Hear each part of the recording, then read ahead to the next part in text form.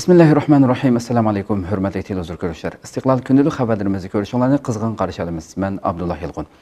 Proqramımızda vətənimiz Şərq Türkistan və dünyada olub atqan gün tərtibdəki xəbərlərini huzurunuza sunuşduruşumuz. Qənimsə diqqətinizlər ekranımız olsun.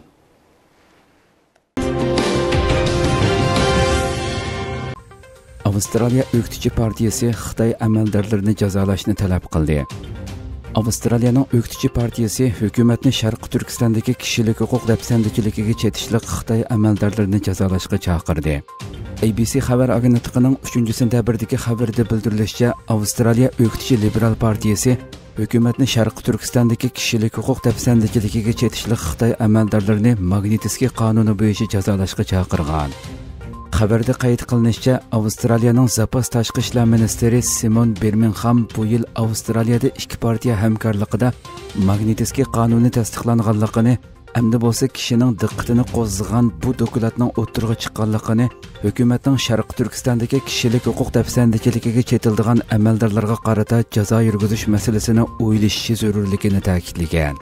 U yana mishel bacheletning ishxonasi tayyorlagan mazkur 48 batlik dokladda xitoyning sharqi turkistondagi jinoyatlarning insoniyatga qarshi jinoyat shakllantirgan bo'lishi mumkin deb xulosa qilinganligini xitoyning atalmish tarbiyalash markazi deb atab olgan jazo lagerlaridagi qiyin qistoqqa elish nachar muomala qilish jumladan noma'lum dorini majburiy yegizish nachar sharoitda tutib turish oyoq osti qilish va vahshiylarga zo'ravonlik qilish to'g'risidagi ahvollar haqida to'xtalgan bajilit ishxonasining bu ma'lumotlarni ishonchli deganligini qayta tilga olgan simon birmingham yana avstraliyaning xitoyning sharqi turkistondagi uyg'ur va boshqa turkiy millatlarga qaratgan kishilik huquq dafsandichiligini izchil ayblab kelganligini bildirib xitoyni bu dokladda o'tirg'a qo'yilgan andishalarni hal qilishga chaqirgan. Avstraliya kengash palata a'zosi penni vong biz yana avstraliyadagi uyg'urlarga hissdoshlik qilamiz. Ularning yiqinlarini qo'llash masalasida chiqargan kuch va ko'rsatgan irodasini e'tirof qilamiz degan. Amerika xitoyga o'zak eksport qilishni chekladi. Amerika yaqindan beri xitoyni xalqaro fan texnika sohasida yetim qoldirish tadbirini yo'lga qo'ygan bo'lib xitoy savdo ministrligi amerikaning xitoyga o'zak eksport qilishni cheklashiga norozilik bildirdi. Xitoy yer shari to'rining birinchi sentabr xabar qilishicha xitoy savdo ministrligining axborot e'lon qilish yig'inida bir amerikadagi o'zak loyihalash shirkati nvidia amerika hukumatining ikki xil sun'iy aqliy iqtidor vazifasini tiziltishga ishlatiladigan eng yangi ikki avlod bayroqdor gpu hisoblash o'ziki a 100 va h 100 ni xitoyga eksport qilishni cheklashni talab qilganligini aytgan. Xitoy savdo ministrligi buningga qanday qaraydi? Bu harakat xitoy pan texnika korxonalarining yurishishiga qanday ta'sir ko'rsatadi deb so'ragan. Xitoy savdo ministrligining axborot bayonotchisi shu jueting javobida xitoyning bu ishga diqqat qilganligini bir mezgildan buyon amerika eksportni boshqarish tadbirini uzluksiz qalaymaqon ishlatganligini yerim o'tkazgichga aloqador moddiy turlarning xitoyga eksport qilinishini cheklaganligini va xitoyning amerikaning bu harakatiga qat'iy qarish turdiganligini bildirgan. Bayonotchi yana bildirlab amerika bu xato usulini darhol to'xtatib xitoy korxonalariga odil muomala qilib dunyo iqtisodining muqimligiga foydali ishlarni ko'proq qilishi kerak degan Egilishcha Amerika yaqinqi yillardan buyon Xitoyning qo'shnilariga hamda xalqaro jamiyatda qilayotgan aldamchilik, o'z kuchini pash qilish, ojiz davlatlarni bo'zaq qilish qilmishlari sababli Xitoyga savdo, pan-texnika, harbiy asliha qatorliq sohalarda embargo yurgizgan. Bu sababli Xitoyning qisman ishlab chiqarish korxonalari to'xtab qolgan.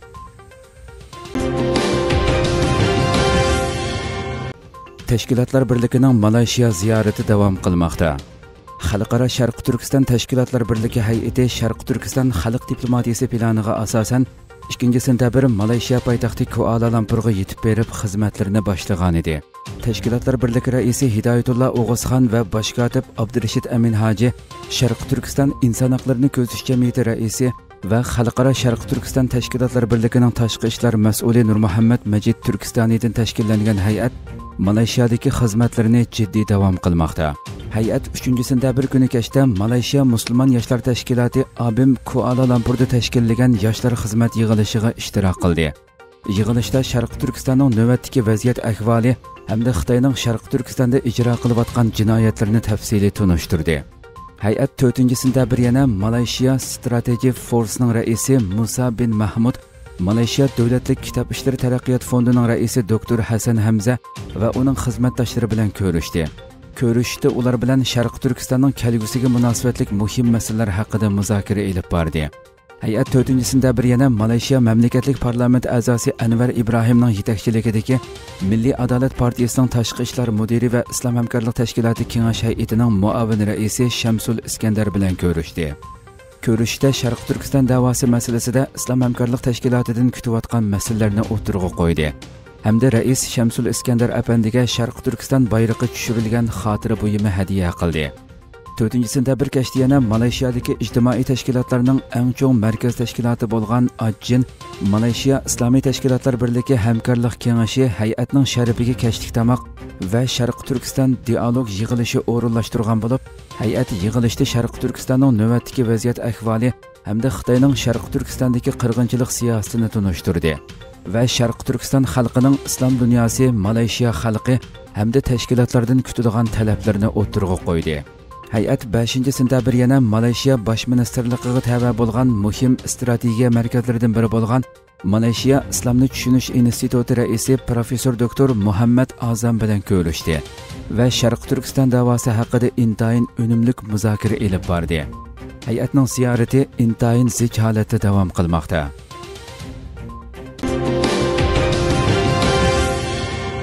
Amerika 28 davlat bilan birlikda manevr boshladi amerika markaziy qo'mondonlik shtabi iordaniya qatorliq 28 davlat bilan 2 hafta davomlashadigan manevrning boshlaganligini e'lon qildi. Turkiya ovozi radiosi xabarida bildirilishicha amerika markaziy qo'mondonlik shtabi twitterda amerika iordaniya qatorliq 28 davlatning qatnashishi ostida iordaniyada 2 hafta davomlashadigan igor leon manevrini boshladi. 4 sentabrdan 15 sentabrgacha o'tkaziladigan bu rayonda o'tkazilgan eng cho'ng manevrlardan biri bo'lib hisoblandi deb bayonot e'lon qildi. Bayonotda manevrning shirik davlatlar o'ttirisida o'zaro harbiy tajriba almashtirish va shirik davlatlar o'ttirisidagi o'zaro hamkorlikni yaxshilash maqsadiga ega ekanligi eskartildi. Bu yil 10 qitim o'tkazilgan harbiy manevrning yiroq masofalik bombardimon xiyoliy dushmanlarning to'r tahdididan mudofialanish organlar ara aloqa va moslashtirish terrorlikqa qarshi turish iqtidorlarini taraqqiy qildirish havo va boshqariladigan bombadan mudofaalanishni mos qadamda taraqqiy qildirish dengiz va chegara bexatarligini yetarli darajada kuchaytirish ofatga taqobil turish va insonparvarlik yordam qatorliq temalarni o'z ichiga oladiganligi bildirilgan bayonoti yana 2021 yili xitoy virus sababidan kechiktirilgan ko'p taraflamalikka ega bu manevrga amerikaning 1700 iordaniyaning 2200 boshqa davlatlarning 591 askarining qatnashganligi qayd qilindi.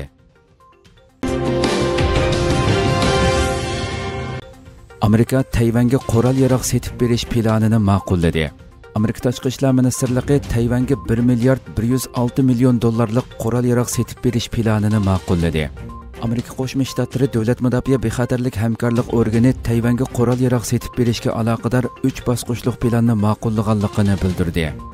Amerika Dövlət Məclisiga yollanğan uqturuşda Tayvanning ko'zitish radar programmasi uchun 665 million 400 ming dollarlıq əşya oburuti setib beriş planının təsdiqlanğanlığı əskərtildi. Yana bir tarafdan ikki ayrim uqturishda bo'lsa 355 million dollarlıq 60 dana Harpun Black 2 nomliq paraxodga qarshi boshquriladigan bomba va munosabatlik uskunlarni setib berish va F-16 tipli urush aeroplanlarida ishlatiladigan 100 dona AIM-9X Block 2 Sidewinder Tactical nomli taktikalik boshqariladigan bomba setib berish planining ma'qullanganligi qayd qilindi. Xitoyning Tayvan atrofidagi harbiy harakatlarini ko'paytirayotgan bir mezgilda Amerikaning Tayvanga qurol yarog' setib berish planini ma'qullashi diqqat qo'zg'adi. Ma'lumotlarga qaraganda qurol yaroq setishni tasdiqlash amerika hukumatiga nisbatan setish planiga mos keldiganligidan derak beradi ekan.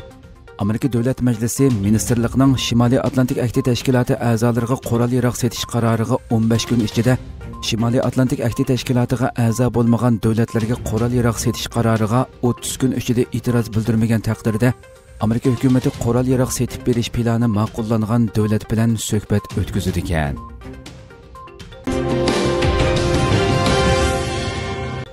Erdoğan keyingi əsrinin Türkiyənin əsri bo'lishini hech kim to'sib qololmaydi dedi.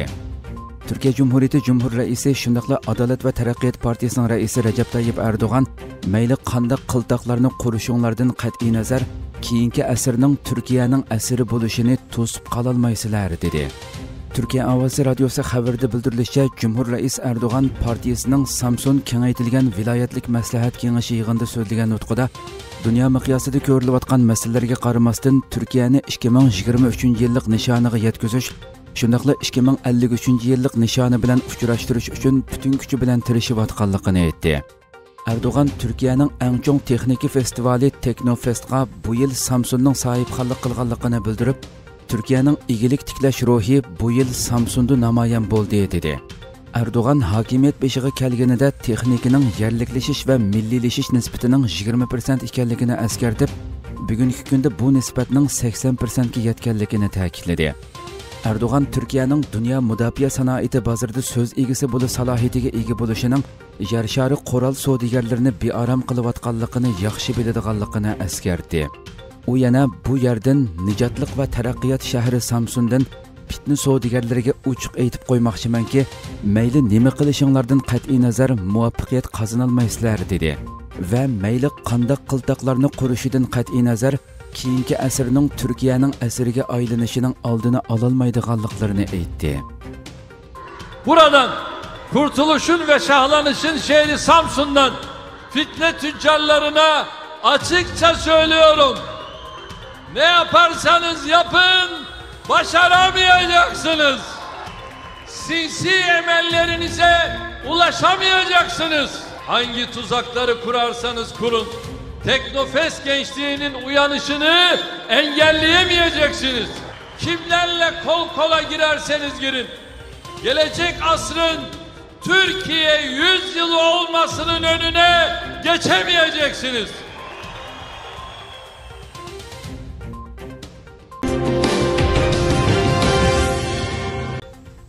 Pakistanda afətlər səbəbindən hər xil kasalliklər köpəydi.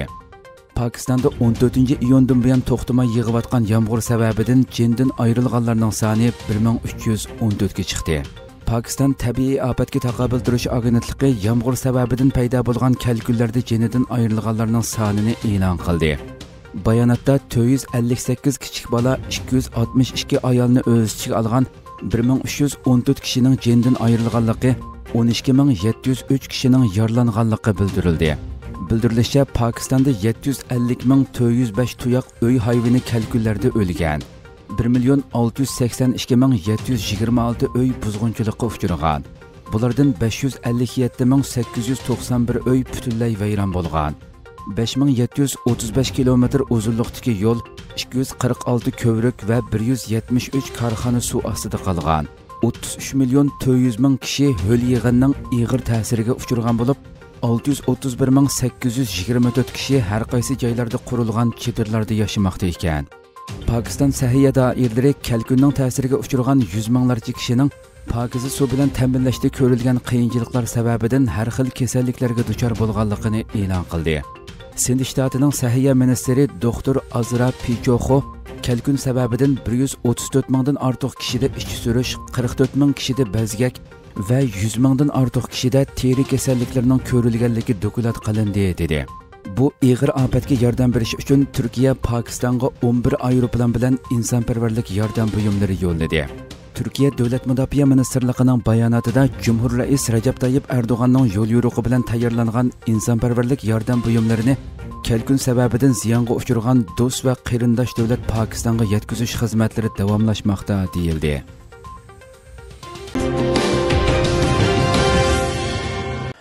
Hurmatli televizor ko'ruvchilar shunaqa qilib bugungi xabarlarimiz shu yerda oxirlashdi.